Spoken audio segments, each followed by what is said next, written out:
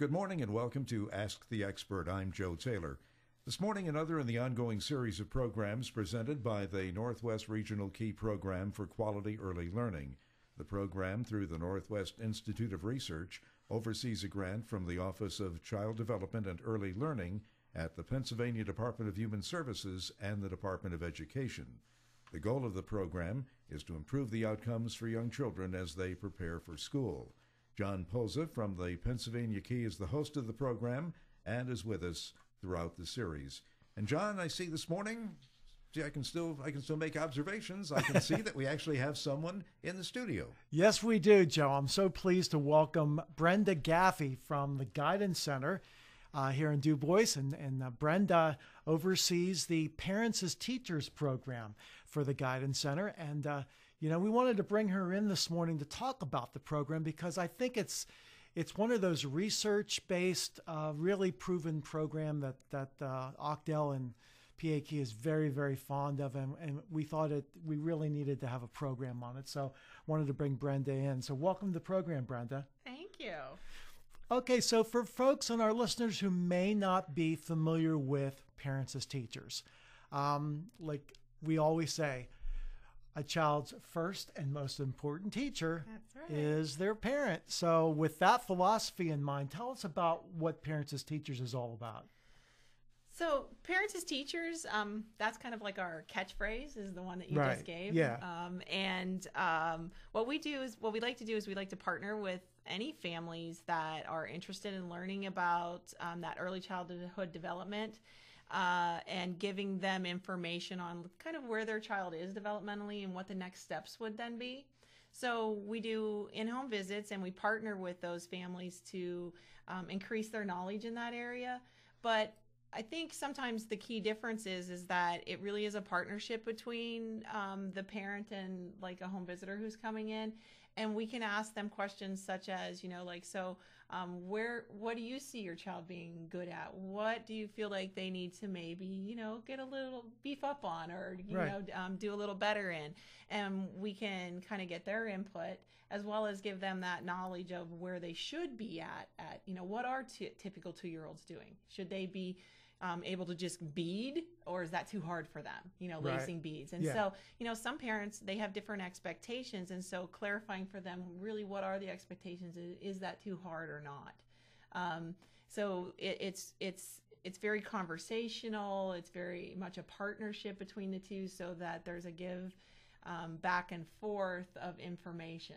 Um, and it's so that it would be something that's very interesting to the parent about what their child is doing now um, and the other thing that um, parents as teachers does is we do want to make the parent feel like they are the expert in teaching their child. So it would, if I were a home visitor coming into, let's say, your home and working with your child, I wouldn't be trying to come in and do all of like the activities and things that we bring and right. lead everything and and um, uh, just take over and be there for an hour educating your child.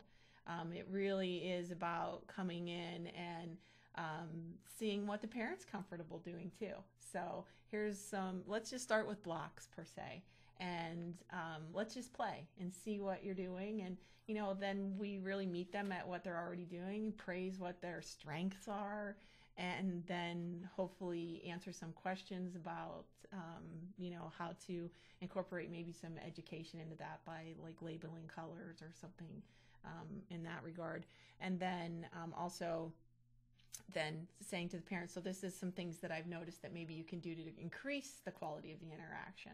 Right. Um, and we obviously have many tools that will help us with those type of things, you know, sure. screenings of the kids, things like that. So. Sure.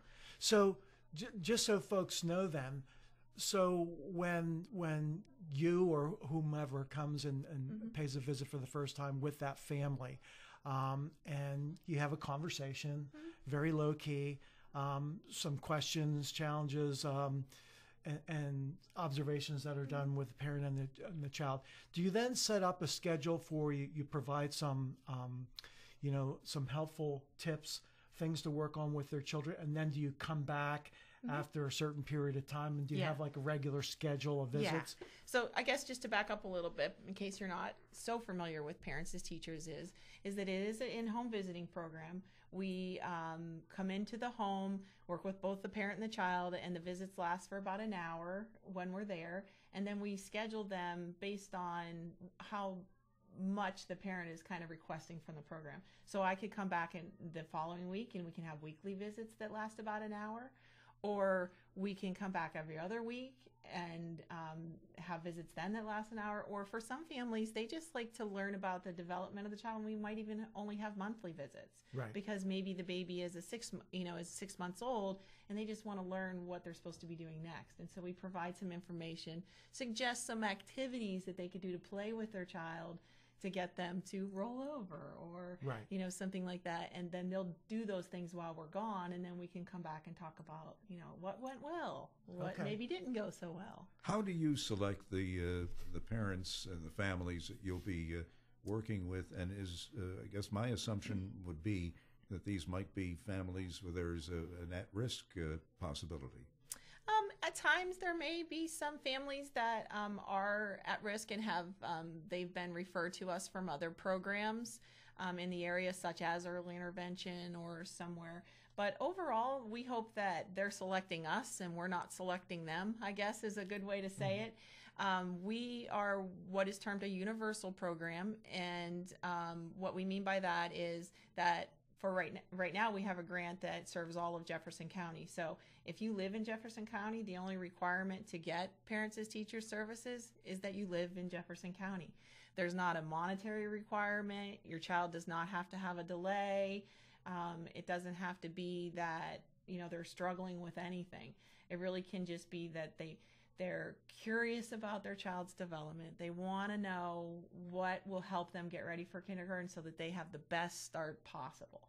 Um, and I, I think that sometimes that's where we um, can serve a lot of families that maybe some other programs cannot because we don't have those type of qualifications. So um, the families that we serve can range from you know some stay-at-home moms that have chosen to stay at home and and do do not want to maybe send their child out to um, a, a child care facility or a preschool facility and so they're requesting information so that they're Right. as aware of what that development is as the preschool teacher is Right. Exactly. um, and but we also have some um, working parents that both parents work and their child maybe is um, you know uh, is uh, watched by grandma or maybe they do go to um, a daycare a couple days a week but the parents want to increase their interactions and with that limited amount of time they have because they come home from work at five the children go to bed at eight they have three hours of time and they want to make sure that the three hours that they give them is quality, great interactions that really support their attachment with their child because they don't have all day to do that attachment. Um, and they also want to make sure that they're, you know, giving them the skills they need as, you know, and they're getting that everywhere. Right. And they want it to be from them. You know, Exactly. they want to have a say in it. Yeah. And so sometimes, you know, we'll go into those homes and work with those families um, just to increase their knowledge in that. Um, I had a mom once sum it up. She was a lawyer, and she said, "She said I'm a great litigator, and I, I do really well as a lawyer because that's what I went to school for." Yeah. She said, "But if you ask me what a three year old's supposed to do, I don't know." so to me, that was like eye opening and kind of funny. I was Mm-hmm. like, "Oh, okay, that makes sense." But it's the it's, as everyone says, it's the hardest job in the world that we have absolutely no training for. And they don't come a- with directions. no directions. Right, no exactly. directions. Absolutely. And you know, and the and the point, as you were saying, is whether whether you're a parent that decides to enroll your child in childcare, Mm-hmm. uh, whether it's at a center, whether it's with a family or group provider, Mm-hmm. or whether you you know you you don't feel or you're not comfortable at that given moment and you want to really develop that bonding experience it doesn't matter one way or the other. The fact is every parent needs that um, kind of advice uh, from from from someone to, to, to know what the, the, the real milestone should be whether their child is developing properly or not. So Yeah. that's why i think the program is so great. I, I would imagine also that parents are doing some things right And it's great to get that positive Oh, feedback that, hey, yeah, you're, you're doing it right. Yeah, exactly. I, I always say, you know, like sometimes it's just that affirmation of how great a job you really are doing. Um, but we we in the curriculum that we have through Parents as Teachers, which is actually an international program Right. and curriculum, uh, there are so many fun activities that just use the things that are already in the home.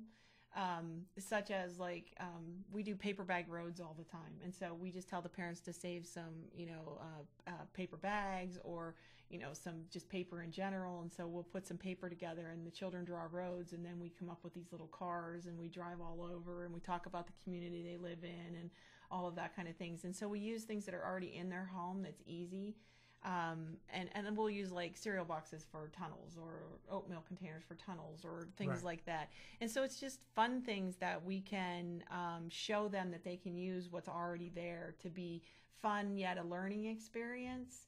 Um, and so for many of the families that's like something that they they they don't have to think about it. You know they're not going like what can we do for them now to teach them their numbers Yeah. you know? And children just like adults don't like to be asked a lot of questions. So saying what's this number? What's this number? Or how many is that? How many is that? Children will get frustrated and then they won't want to learn. But if you're playing a game and counting their favorite cars every child wants to do that you know? And Yeah. so when we're kind of giving that to the parents we're giving them those activities that we've said kind of work with that age. And so they don't have to think about it. So it's real fun for them.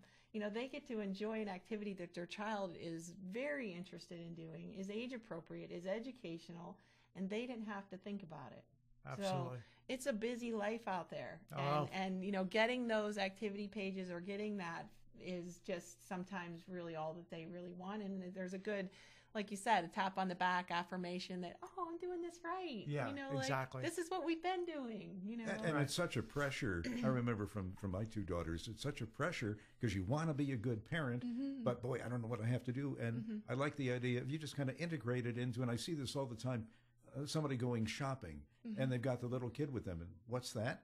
Corn? What's that? Yeah. Yeah. And it's Yeah. a learning experience, but it's integrated into the flow of, of life without a lot of pressure. Now I've got to teach this kid something. Right. Yeah. Yeah. Exactly. yeah One of the things, Brenda, you know, because when a lot of a lot of parents, um, especially hearing about the program, parents as teachers, sometimes, and and you can address this, they may feel like there's a stigma. Oh, well, if I contact parents as teachers, I don't want people to think that I'm doing so because you know I may be a bad teacher. That this is a program that's only, or not a bad teacher, but a bad, Bad parent. parent, yeah. That this is only for parents that really are struggling and are having Mm-hmm. problems. You know, can you address that because that happens in so many fantastic programs that parents who don't want to kind of uh, admit that they maybe need a little bit of help or Mm-hmm. Well, assistance. like I said, I, I, I think we're all vulnerable in um, the way we feel that we don't always want to admit that maybe we we do want a little bit of support. But I think the thing um, that I would stress with any parents that may be thinking that is that it's not about what you're not doing; it's about what you're already doing and how to build on that right. every parent that we've been into I, I into their homes it doesn't matter their background their experience where they were referred from whether they have a child that maybe does have a speech delay or is struggling with something those parents are doing something right good they're building relationship with their child and they're you know like they're they're um helping them reach milestones that they don't even realize that they're doing Right. Exactly. um, so I think you know for those pa- it's it's just like a reinforcement. yeah, trying to find a way to just reinforce for them that um, these are already great things you're doing and so this is something you're comfortable playing or doing so let's build on that and we actually have a tool it's called um, it's called the piccolo which is a parent child interaction tool where we can observe let's say i was watching you play with your child i would watch you for 10 minutes and make some notes and then fill out this form Right. and what the Piccolo then helps us do is see what your natural parent child interactions are. Right. So it helps us visualize where your strengths are. Because in a 10 minute period, you're going to do the things that are the most natural to you. Right. You're going to interact in a way that's comfortable for you. You're not trying to do something different. Yeah. And so if we can get you in that relaxed environment and look at that, then we can kind of go over them and say, look, these are all the things that you're already doing naturally and you're doing it well. So if we want to increase those interactions between you and your child and help you build maybe their education or learn new concepts, then here's some things that we can do. So I didn't see you do this, this, and this, but I can show you what that looks like. I can model that for you and show you that so that you can try it out. Maybe you'll get comfortable with it. Right. You know, because sometimes we just don't have never thought of doing it that way because we haven't experienced that way. Right. I, I, wish I was going to say I wish I had parents as teachers when, when, when I was uh, well when I was uh, you know raising my son, but Yeah. uh, you know It's it's really designed to just like you said, be that support wherever you are. Yeah. Wherever you are in your interactions and your ability levels. Um, we always have a book. We always have something fun that the kids can can can make or do um, during during the visit. You know, we make homemade Play-Doh. We make homemade slime. We make and the kids get to keep it. And you know, Yeah. and then we talk about you know what you just did was all pre math right exactly and pre science, hmm but it was so much fun right you know and he doesn't care that that's what it was but he learned it he learned it I, I would You know? imagine you'd have to take great care in selecting your instructors Mm, because mhm. they have to be empathetic. They, Yes. they can't be going in there uh, appearing to be, you know, a know-it-all to Yeah. the, the, the, the new mom or, believe or me the we mom. don't know it all so, so what, what is the what, what kind of people do you uh, attract, employ as instructors, and what kind of training do they receive? So the guidance center really tries to um, um, hire individuals for our parents as teachers program that have a four-year degree, um, either in um, early childhood education, elementary education, health and family studies could be one. Um, it's like the psychology, um, social work, Mhm. you know, degree, and actually nurses as well. Nurses obviously are, you know, very compassionate and Right. caring. Um, so those are the ones that we, you know, as far as the education, um, we really try to get those ones with those four-year degrees in those areas. If they don't have a four-year degree, but they do have, um, you know, an associate degree in those areas, we would also accept them if they've had a lot of experience, maybe in the in the child in a child care setting or um, a preschool, or had experience with young children. Mhm. Um, and again, you know, um, I think it, it's it you know that's where we start with trying to get them, and then hopefully through the interview process, seeing their interest in things, we can kind of gauge, you know, that that compassion level and that you have to have that right. Um, I guess fire in your belly for going out and doing this, Right. and also um, being comfortable in other people's homes. You know, we sometimes take for granted, um, you know, that because we've been educated with a four-year degree in elementary ed or in early childhood or nursing, that you know that that covers it. We're qualified. We can do this, but we have to be comfortable going into a variety of homes in the Mhm. community and um, uh, you know uh, having a relationship with a variety of parents absolutely um, and personalities. So it, it is definitely something that it's not a fit for everyone to be a home visitor. And, um, you know, we've been somewhat successful with being, you know, not that we don't have some turnover here or there because people find that it's really not a fit for them. But, um, you know, here in Jefferson County, we've been doing pretty, pretty good with that. I have, um, several um, home visitors that have been with us longer than three years. You know, I've been working as a home visitor. I hate to say this out loud because it makes dates me a little bit, but um, you know, I was a preschool teacher. I was a um, child care director. And then I uh, started doing home visiting with the Guidance Center's Parents as Teachers program in Elk County when it was in Elk.